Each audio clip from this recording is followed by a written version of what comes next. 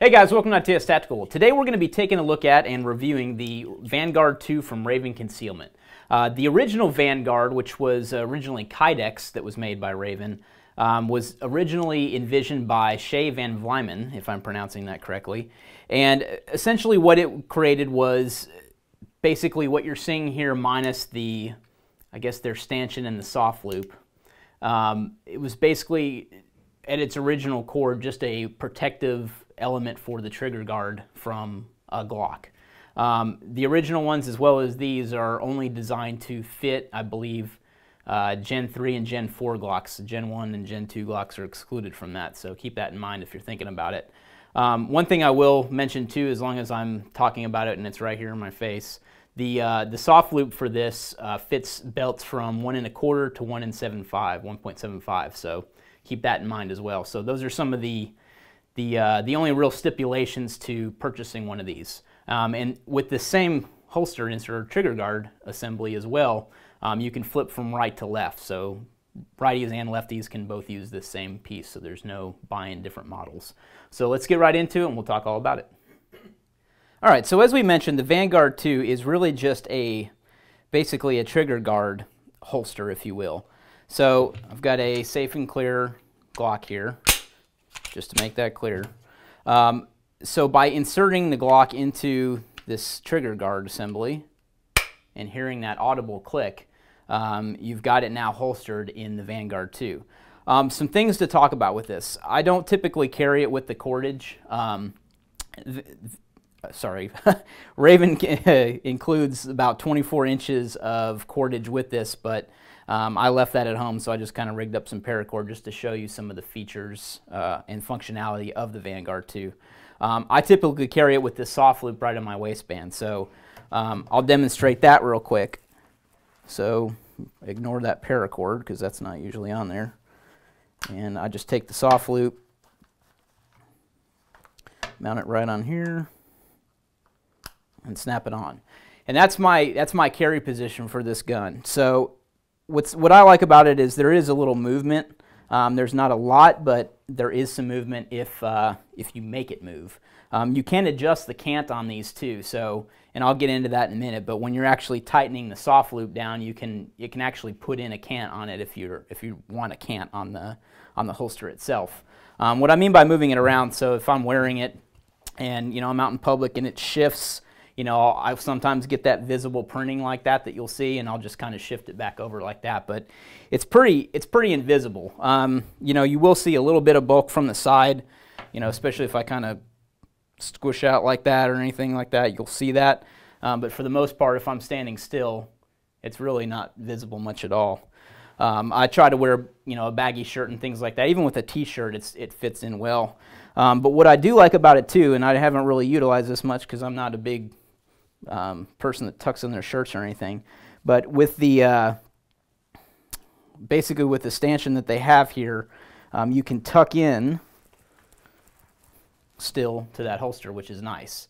So if you're someone that tucks in their shirts, uh, especially with you know suits and things like that, um, dress shirts, um, you'll just have that soft loop exposed. So basically what I did, let me show you, kind of illustrate that, is so on that post there, you're just tucking right behind there. So that's kind of the gist of that. So I'll show you how this draws now too. Um, one thing they specify in the instructions, which are very nicely done by the way, and I'll get into that in a minute, uh, is that you want to draw straight up. So you're not going to draw at, a, at an angle or anything like that. Your draw is going to be straight up like this. So once that draw happens, you'll, you can actually hear that audible click too, which I really like about this. It's, it's not so much Kydex. I think it's probably polymer injection molded or something like that. I'm not quite sure on the specifics. But as far as reholstering goes, the easiest and safest way to reholster is to just remove this, um, slip it back onto the trigger guard, and reholster it and snap it in again. Um, one thing I'd like to mention too on the instructions that I really like on the Vanguard 2, you can see the instructions right here. They've got a really nice booklet um, it's printed really nicely, full color instructions. I really like the instructions. And one of the main reasons that I really love the instructions is it taught me something that I didn't know before. Um, and that's on these, these push, uh, push the dot snaps that are very often found on um, soft loops and things like that. I've always hated them. I mean, just being honest, I can't stand them. So I was looking forward to testing out the Vanguard, but at the same time, wasn't looking forward to the push the dot snaps. But thanks to Raven's awesome detailed instructions, I now know a little bit more about these, which is when you're actually looking at the female portion of the snap, and we'll get into detail and show this, but there's actually a brass ring that fits inside of this push to, or I, name nomenclature is confusing. I'll push the dot. So um, the actual snap, there's that brass ring inside, and then there's the actual place where it gets clamped down or crimped down over that brass ring. Well, the brass ring itself has a split in it, you know, to enable it to get put into that female portion of the the, uh, the snap. Well, if that female portion, uh, or I'm sorry, that brass ring gets twisted in here, um, that can actually prevent the snap from closing. And I think that's the problem I've been having all these years with these push the dot snaps, is that Raven tells you right here in the instructions, all you need to do is rotate that little brass ring down behind that crimp mark and uh, it helps you out. And it really does. You know, what I noticed too is that when I also turn this crimp mark to be down at the bottom here, all I have to do is as I'm putting this on, I stick the bottom in and then press the top and it comes off very easily and I snap from the top down and it comes off just fine. I, I haven't had any problems since I came up with that and I actually moved that little brass ring in. I can do it every time. Um, and that's been my big hangup with these things is I guess that's end user error because I really never understood these enough to really know what was going on. So just a little aside and something that I really appreciate the uh, instructions on that helping me with. So anyhow, one of the other ways that you can draw this, um, the Vanguard 2 is instead of utilizing the soft loop, you can actually use the paracord. And I'm actually going to take off the, they call it a strut and I always forget that. So this is called the strut. Um, I'm actually going to remove the strut from this assembly. Um, the original Vanguard didn't have any of this the strut or anything like that. So that's the way the original Vanguard looked in the beginning, or very similar is without the strut. So it's just got a screw here. You just need to hold the back with another screwdriver while you're removing this. And now that whole strut assembly just comes right off with the soft loop. So now you're left with just the, the actual trigger guard assembly and your paracord or your cordage that gets hooked into your belt. So same thing like before. Go ahead and make sure that's properly clicked in. Hopefully I don't offend anybody by undoing my belt here. I'll buckle this back again. And now if you want, you can just tuck it into your waist. So with this method, you've got the paracord holding it. And one thing that uh, Raven recommends in the instructions too is to not just put this paracord around a belt loop. Um, get it around something solid like the actual belt. You don't want it tearing open the belt loop as you're trying to draw and not being able to draw. But they do have a solution for that too in the instructions, which is pretty neat. So anyhow, same thing. You know, you're wearing the gun, draw straight up, and now that paracord catches and the trigger guard assembly or the Vanguard 2 comes right off the trigger and you can properly draw.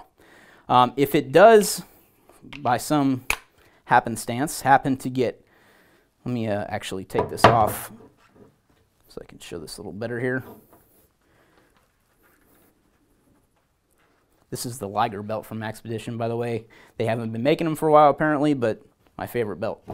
So if it does get caught up and for some reason the paracord pulls free, free, you're still sitting there with the paracord loop as well as the Vanguard 2 on there, you can actually just catch this on the table and pull that right off. So by just catching it on the lip of the table, you're pulling that right off and it breaks free essentially. Um, and that's just done with the, uh, the little lip there on the Vanguard 2. So that's a, a nice feature too is that, you know, even if you're coming up one-handed, um, you can use the edge of the table, or if you have a free hand, you can just flip that down and uh, knock that loose and gain access to fire weapon.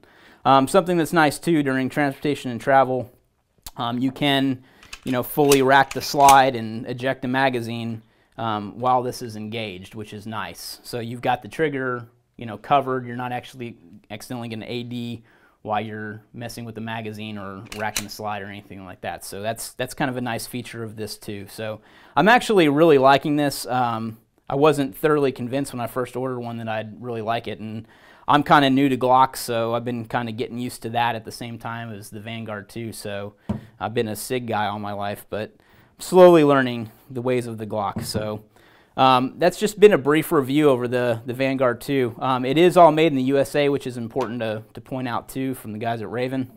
Um, we will uh, you know, have some photos and a little bit more detail in the review on itstactical.com, so make sure you check that out. Uh, make sure you also leave any comments or questions you have for us in the, in the video, and thanks for watching.